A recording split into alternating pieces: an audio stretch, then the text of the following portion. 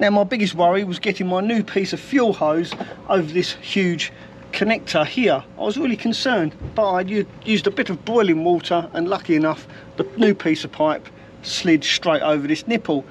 And now I'm over that stress of this repair, I thought I'd start making this video. So let me begin by telling you a little bit of a story why Mary is once again all in pieces. Now it all started last night. I was given two choices, whether to go and see my friend in Essex or whether to go and see my mate Dave down the road. Lucky for me, Dave enticed me with a picture of himself holding these two great big steaks and he said, hey mate, the barbecue's on, come on down and have a beer. That kind of sealed the deal for me, so I decided to go and see my mate Aussie Dave rather than go through Dartford Tunnel and see my mate in Billericay.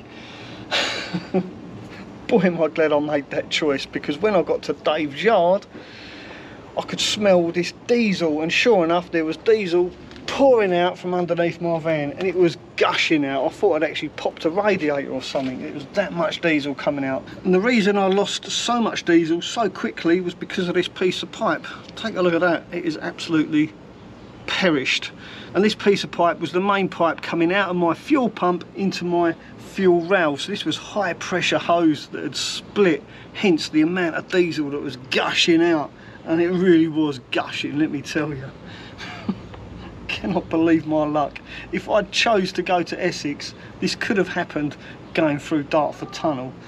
So I've got to say massive thank you to my mate Aussie Dave for enticing me with those steaks. really appreciate it. But unfortunately we didn't get to enjoy those steaks because of this piece of pipe splitting. By the time I'd cut this, rejoined it and got my van back on the road, it started to get dark and it was actually started to rain a little bit. So we decided to save the steak for later on today once I'd fixed Mary. So the quicker I get this fixed, the quicker I can get down, see my mate Aussie Dave and enjoy those lovely steaks. The moral of this story is, if you've got an old van such as my old Sprinter, check your fuel lines.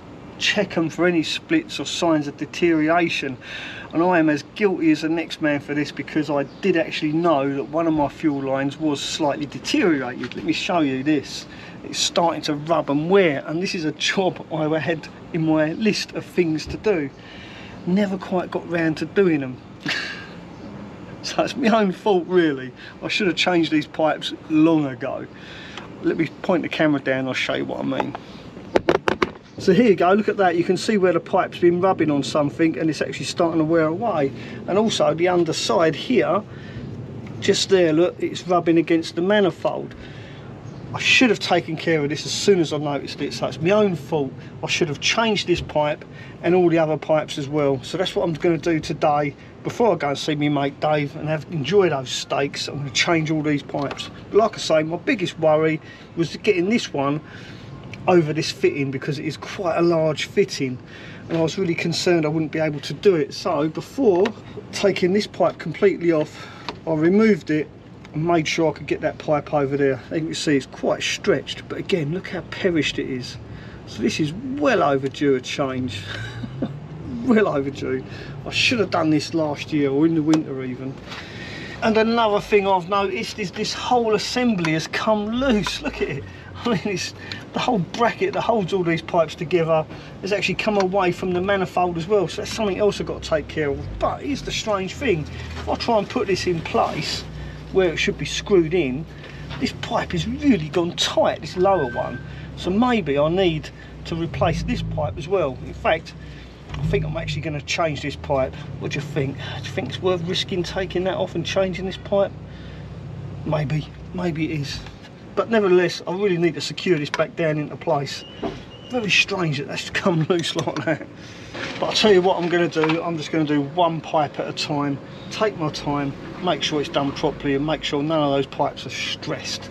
I brought two meters of this 8mm fuel pipe. Should be plenty to replace all the fuel lines underneath the bonnet of my van. Now the original fuel pipe was covered in this protective sleeve. What I'm going to do is cut this sleeve in half use half of it up this end where the pipe could potentially rub against this electrical connector and then the other half down this end where the pipe could potentially rub against the oil filter. Yeah, I think that's a great idea. Just cut this in half.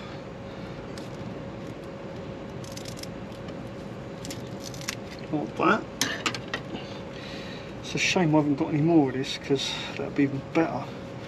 One piece up there like that, where it comes around there, and the other piece can protect it from rubbing against the fuel filter or the oil filter. Yeah, that'd be perfect like that. Now always remember, if you're using fuel line, to use proper fuel clamps. These aren't just regular Jubilee clamps, you can see they actually clamp the pipe all the way around. These are brilliant, these clamps. Much better than the regular Jubilee clamps. Make sure you get it the right way round as well, where you can get to it. I've done that before. Right, let's get this on. I'm getting hungry. So this is the new pipe in place. As you can see, this protective sleeve worked out really well. It's protecting this pipe from rubbing against this or rubbing against there. And this part of the protective sleeve is stopping it from rubbing against the oil filter. So uh, I'm really pleased with that. Right, so I'm going to go ahead, change this line, change this short piece here as well, and then we'll be good to go. Well, I ended up changing three fuel lines in the end. The ones that come in and out of the fuel pump, I changed those after it was one of them that burst. And also the little stubby one that was on the top of the fuel filter down here. Boy, am I glad I changed this one. because it was quite tight and that's the reason I changed it. And as you can see it is really perished. You can see it's all cracking there if I hold it like that. So once again, I'd say to anybody out there that's got an old Sprinter or any old van for that matter or vehicle, make sure you check your fuel lines. And if you can't check it yourself, then when you take your van to a mechanic for it to be serviced, then ask him to quickly check your fuel lines as well. Just make sure those fuel lines aren't cracked and perished like mine. You could save yourself one big headache. Right, all I've got to do now is put the airbox back on crank it up make sure I've got no leaks and once I've done that I'm going to head down to my mate Dave and enjoy that steak now the reason I have to put the airbox on is because of these electronics. If I was to start up Mary without plugging these back on I'd get an engine management light come up. We don't want that. Well, I'm not going to secure it down properly. Maybe I will it's going to rattle. That's it. I won't do that up. I'll just leave that like that. Start it up see what happens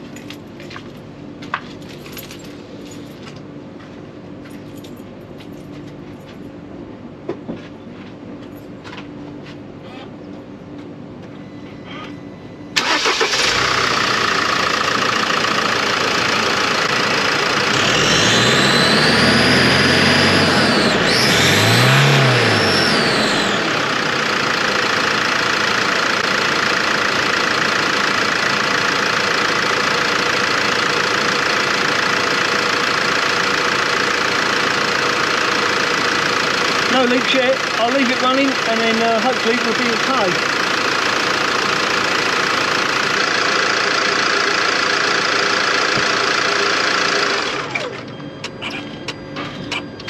Well, I'm happy to report there are no more leaks. So uh, that's me done for the day. I've just got to tidy up, change my clothes, get down to me mate Aussie Dave's, have a bath and a barbecue. I'll see you there welcome to my friend Dave's yard. Dave does house clearances, he also does rubbish clearance as well. And occasionally he likes to keep some of the stuff he comes across and he keeps it in this yard. And that's pretty much what Dave does for a living.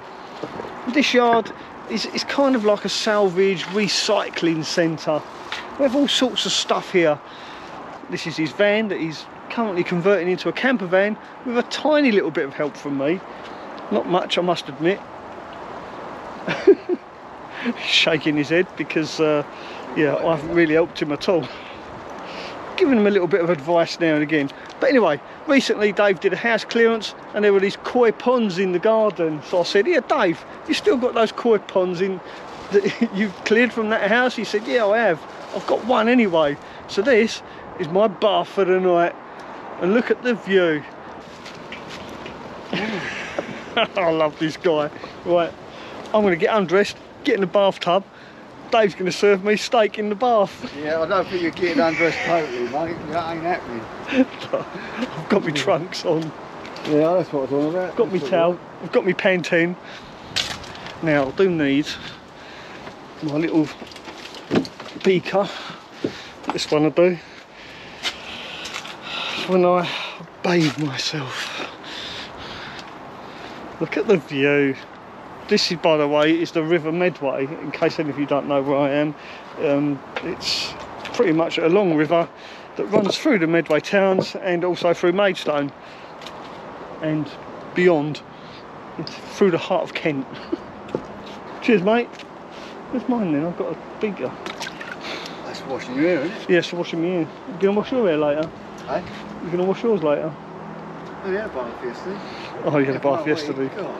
It's been a really hot day, hence the idea of having this bathtub. Right. I'm going to stop waffling on, get in the tub.